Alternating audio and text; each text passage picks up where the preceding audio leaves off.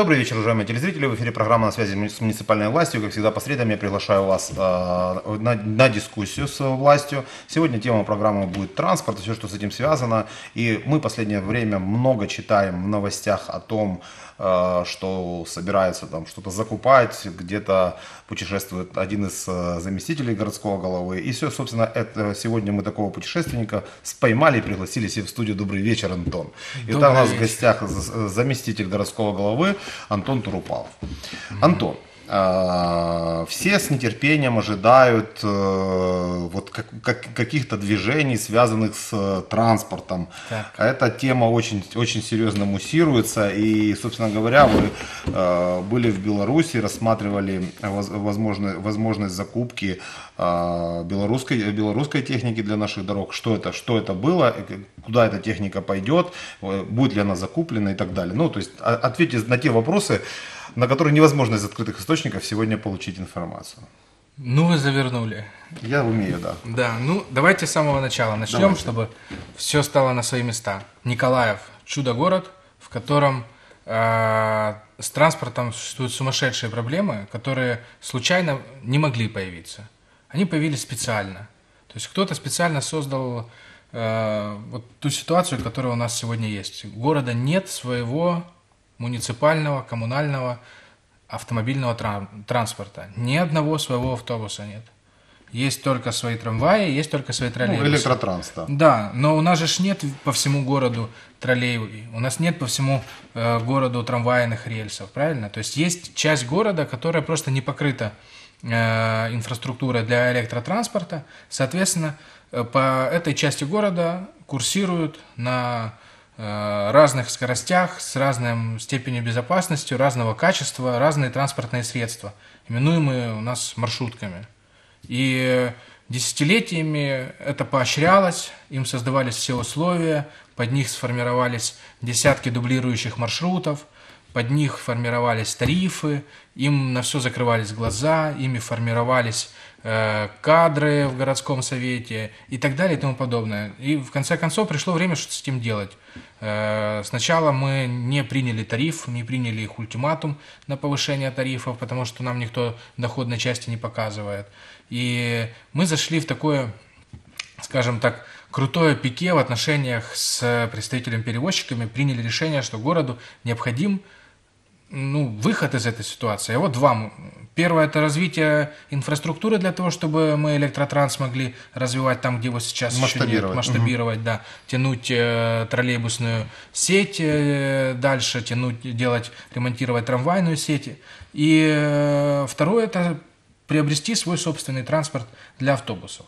То есть э, это все денег стоит, качественная техника стоит денег, и э, городской голова поставил задачу найти эти деньги таким образом, чтобы мы э, не сильно залазили в городской бюджет, чтобы мы могли и дороги сделать, и крыши сделать, и садики построить, и социальную помощь людям выплатить, то есть рационально использовать эти средства, и при этом могли купить нормальную технику. Вы знаете, она стоит дорого, и для того, чтобы потратить, э, ну, чтобы был эффект, ее нужно купить много.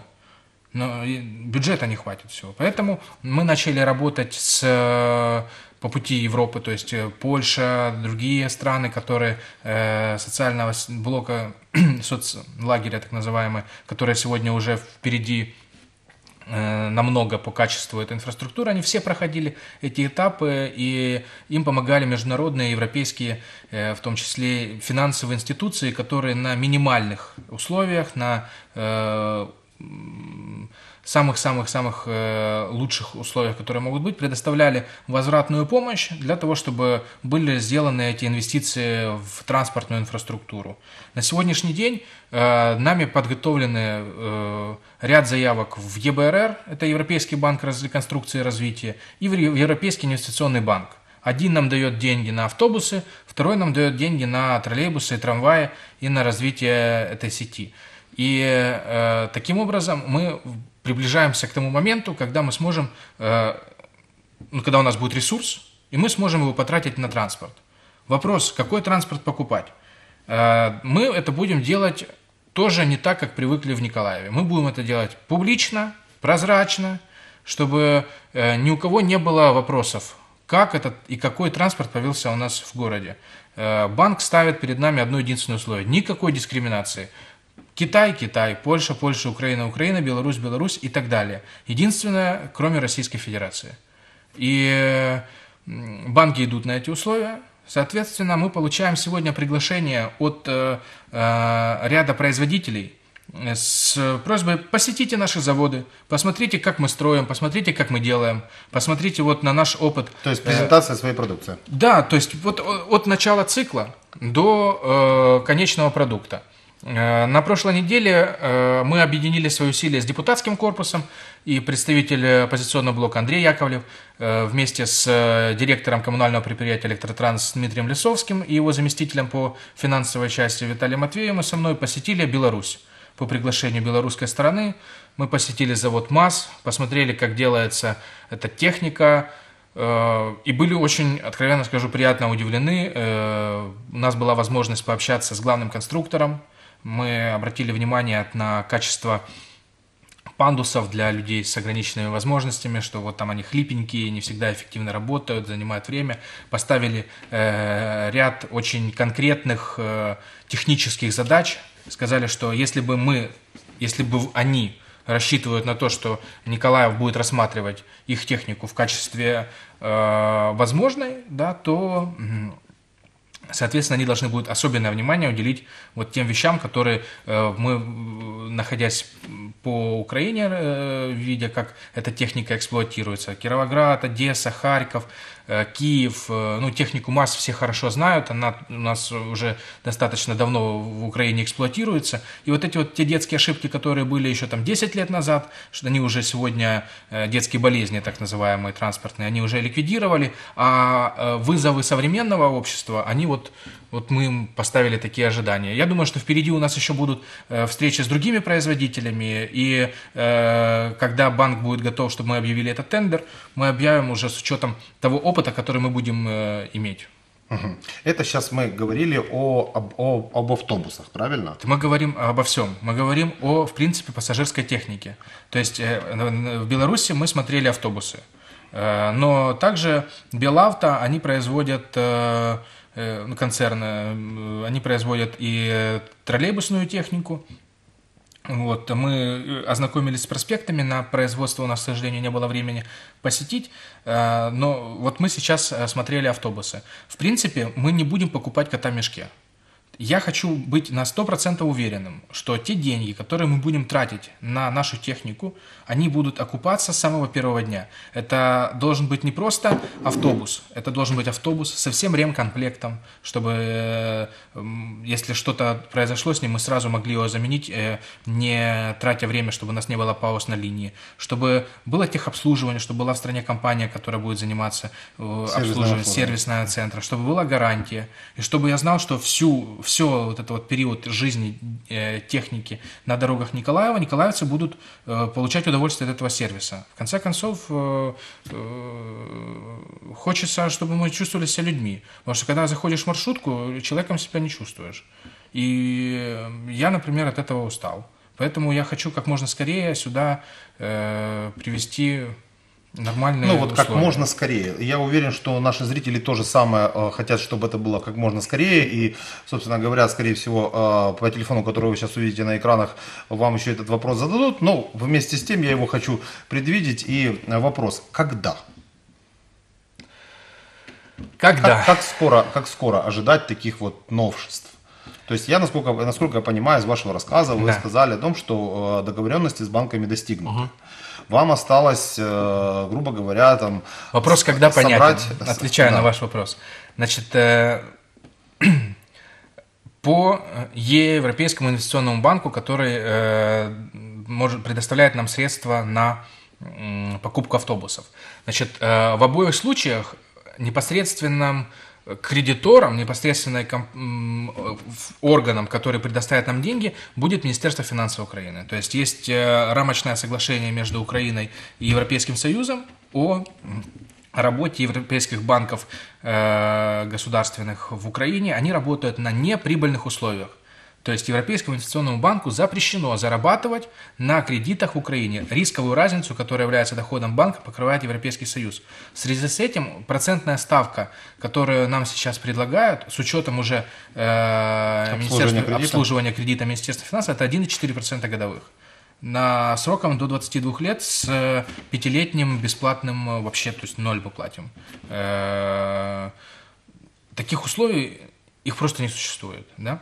Э, для коммерческого, для коммерческого сектора, сектора. Да. Это непосредственно помощь европейских институций Украине, чтобы мы скорее приближались к тем стандартам, которые люди уже привыкли, да, угу. совсем недалеко тут до границы, я вас умоляю.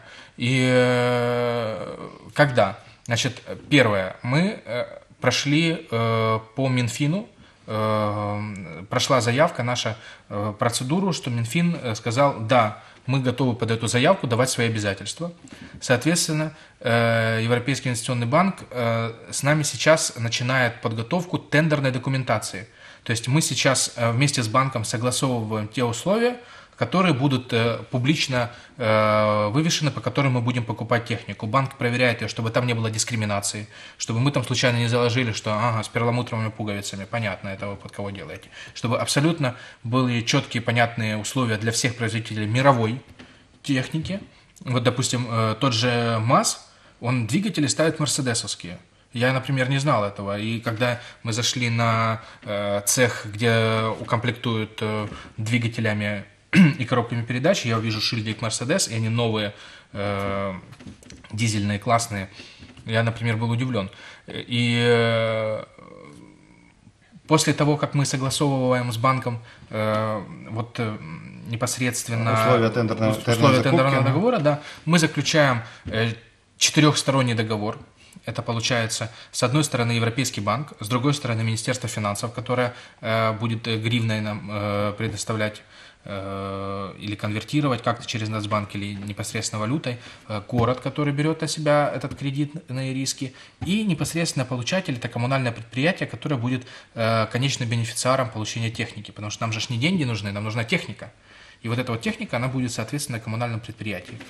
И я думаю, что самый поздний возможный период получения денег – это март 2018 года с, э, с опубликованием как бы тендерной документации, что мы вышли бы на середину декабря.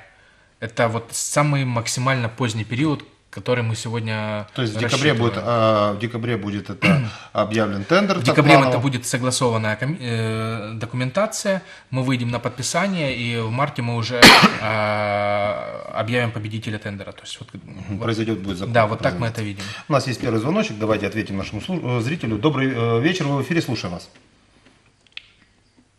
Алло. Кажите. Алло. Да, добрый вечер. Здравствуйте. Да, да, вас да, да, да. У меня такой вопрос. Значит, я очень рад, что сейчас появились новые троллейбусы. Я вот на Северном живу. Здесь у нас такая, такие красивые троллейбусы, все хорошо. Вот. И вы сейчас большое внимание уделяете.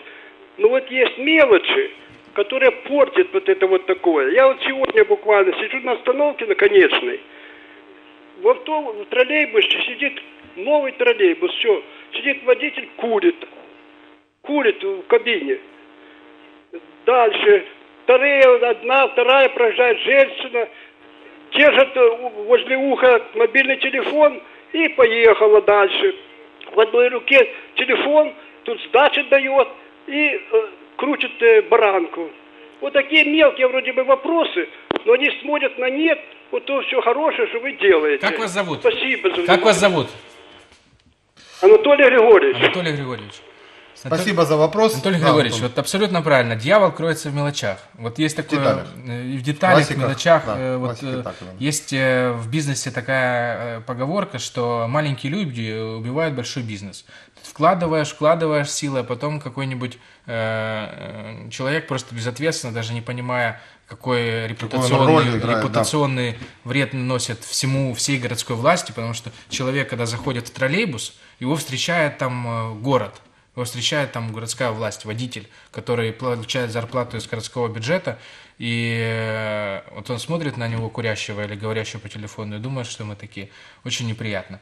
Я хочу вам сказать, что э, все нужно начинать сначала, а сначала у нас не получилось. То есть у нас получилось, что троллейбусы есть, а диспетчерского центра нет. Качественного центра подготовки водителей нет. Качественной э, обратной связи между нами, э, как э, исполнительной властью, и вами, как э, нашими нанимателями, да, людьми, перед которыми мы отчитываемся, тоже нет. Мы сейчас над всем этим работаем. Я знаю, что вот Макартыч Самвелович, Макартычан, это заместитель городского головы по ЖКХ, он как раз сейчас в уже финализирует техническое задание для диспетчерского центра, единого диспетчерского центра, который объединит в себе все э, э, службы 010203, э, службы лифта, службы э, транспорта, службы света, безопасности, для того, чтобы был единый э, диспетчер, который мог бы всем этим делом управлять.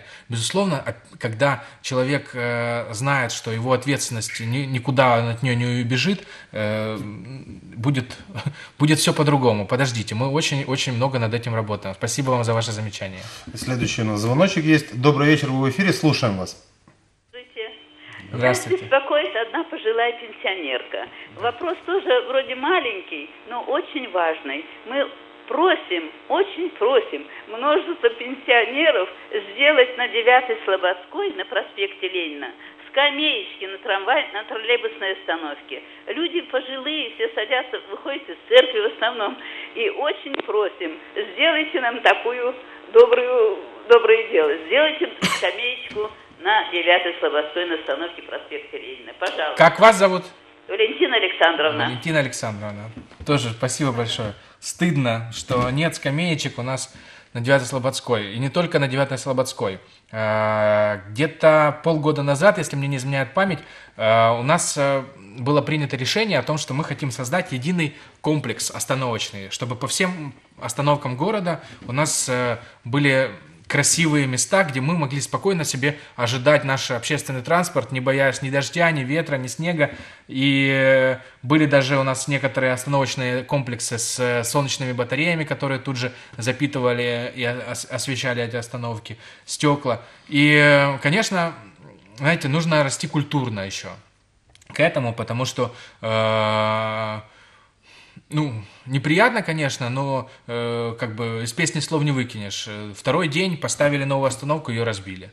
С одной остановки утащили скамейку. То есть вот есть какие-то ну, горечь небольшая от того, что э, труд, который ты делаешь, он э, такой недолговечен, потому что вот, э, культурно мы еще не готовы к этому сервису. Безусловно, скамейка на остановке – это не, не сервис, это не то, что обязательно, это не то, что э, по умолчанию должно быть, это база, это ну, стыдно, Антон, что мы вообще обсуждаем это Антон сегодня ну, я предлагаю вам Обязательно в качестве, запишу. В да. качестве э, исключения, вот Никакого исключения, сделаем, сделать эту сделаем лавочку быстро. обязательно. Да. Сейчас вернусь с эфира, дам задание сразу. Э, еще у нас один звоночек. Добрый вечер, в эфире, слушаем вас. Да, у меня такая Отойдите чуть-чуть, отойдите чуть-чуть Когда... от телевизора, фоните. Сейчас, телевизор, сейчас, сейчас, сейчас тоже. Вот так, не слышно. Отлично. Вот, скажите, пожалуйста, вот новые будут автобусы, можно ли расписание движения вывесить?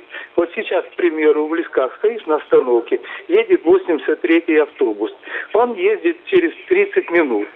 Но придешь на остановку и не знаешь, 30 минут его ждать или 5 минут ждать. И такие вопросы, ну, на весь транспорт. Если идти к европейским стандартам, то, наверное, нужно это сделать. Однозначно. Это... Э, Спасибо за, за ваш вопрос. Смотрите, есть э, две составляющие, к которому мы должны скоро будем привыкнуть. Это к тому, что транспорт ходит по расписанию, и к тому, что э, в транспорте будет электронный билет. По э, первому моменту, значит, это как раз работа диспетчерской службы. Сегодня в нашем электротрансе и в транспорте, который занимается вывозом мусора, в транспорте, который занимается очисткой дорог, вот когда снег, там, эло автодорог, у нас у всех установлены GPS-навигаторы, которые позволяют нам видеть в режиме реального времени, где находится транспортное средство, которое принадлежит городу. Помимо прочего, система диспетчеризации, установленная на этих предприятиях, позволяет нам видеть эту точку в динамике. То есть я с утра пришел, и я вижу, где целый день у меня ходил троллейбус. Я вижу, с какой скоростью он у меня ходил. Я вижу, где он ускорялся, где он замедлялся. Я вижу, где он был не вовремя и опаздывал по расписанию. Водители знают это, и троллейбусы у нас ходят четко. Та же самая ситуация у нас будет внедрена во весь транспорт. Неважно, он будет наш коммунальный или это будет приватный транспорт, э, качественный. Маршрутки сегодня уже э, обустроены GPS-навигаторами, но они не подключены к системе диспетчеризации. Это то важнейшее требование городского головы, из-за чего у нас, собственно, и э, начался конфликт э, с представителем перевозчика. Они не хотят, чтобы мы видели, где они реально находятся. Они не хотят, чтобы мы видели, сколько они действительно делают ходок по маршруту. И, соответственно, они не хотят, чтобы мы знали, сколько они как они нарушают правила дорожного движения и прочее, прочее, прочее. Сколько у них реально транспорта на линии. Вот чего они не хотят. Показать нам свои доходы. Сколько налогов они должны заплатить. Вот. Э, это стандарт. То есть, как только у нас появится свой транспорт, он будет установлен GPS-навигатором, он будет подключен к единой диспетчерской службе, и каждый человек на тех остановках, которые мы проектируем, где будет электронное табло, будет точно знать, что если он выйдет через одну минуту, ему не надо будет ждать, не надо сидеть и ждать, угадай, когда, она, когда он приедет. Э, очень приятно, что вы обращаете на это внимание, и э, я думаю, что ну, буквально в следующем году такой проблемы уже не будет вообще. Мы, может быть, даже забудем о ней.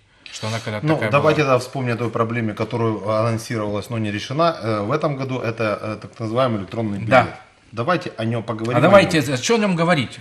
Лучше один раз увидеть, чем сто раз А, услышать. Нет, я предлагаю... Завтра в 15.00 Да. мы приглашаем э, всех э, желающих на презентацию электронных билетов. Семь компаний со всей страны, которые э, так или иначе являются игроками этого рынка, они приезжают в Николаев и презентуют свою технику. Они презентуют свои системы. Я не хочу просто так взять и купить абы что, потому что это очень важная вещь. Что такое электронный билет? Это значит, что город впервые за все эти ну, десятки лет существования э, независимости э, может четко понимать, сколько денег он собирает. Город, в принципе, на себя возьмет функцию по сбору денег. Это крайне важно. Контроль, это э, возможность э, безоплатной пересадки. То есть, когда у тебя э, билет, например, не на проезд разовый, а на время, на час. Я знаю, что, ага, мне удобнее было бы сейчас пересесть на маршрут, с одного маршрута на другой маршрут при переделанной маршрутной сети, где сейчас э, половина маршрутов дублируют друг друга. Это те условия, которые были созданы для того, чтобы э, все могли заработать. Кроме Вот людей. э, тут сразу Приходите, вопрос. смотрите, электронный билет Хорошо. это очень интересная вещь. и Мы Э, мне- выберем нас, нас- со зрителями, я уверен, интересует больше вопрос, когда он будет внедрен, а не какой вы выберете. Очень просто. Мы выберем электрон, мы выберем компанию, которая это будет делать. То есть мы завтра послушаем э, людей, которые, у которых есть опыт. Мы не будем работать э, э, с компаниями, которые не имеют опыта внедрения электронного билета где-нибудь еще. Я не хочу ставить опыты над николаевцами. Если есть э, компания, которая делала это где-то в Украине, я поеду посмотрю, где это в Украине. Делали они это за границей, я поеду посмотрю за границей. Я хочу спросить у людей, они довольны тем, как, как это работает, или недовольны. Я хочу знать, какие они получили замечания в, э, в период эксплуатации. Я не хочу, чтобы в Николаеве проводились Ну, эксперименты. тол- под- подход толковый, я уверен, что очень многие его, э, этот, эту речь вашу оценили, и все-таки, а На когда, пять? приблизительно, когда, и на этом мы заканчиваем сегодняшнюю программу. Скоро. Всему свое время. Скоро всему свое время. Ну что ж, на этой оптимистической ноте скоро мы э, попрощаемся с нашими телезрителями. Спасибо, Антон, что были с нами. Спасибо вам. Приглашайте. Э, ну и э, мы, в отличие от городской власти, знаем четко, и поэтому до встречи в следующую среду, мы уверены в этом. Поэтому мы прощаемся с вами. Телеканал Николаев. С нами всегда интересно. Смотрите на следующую среду. Не переключайтесь. До свидания. До свидания.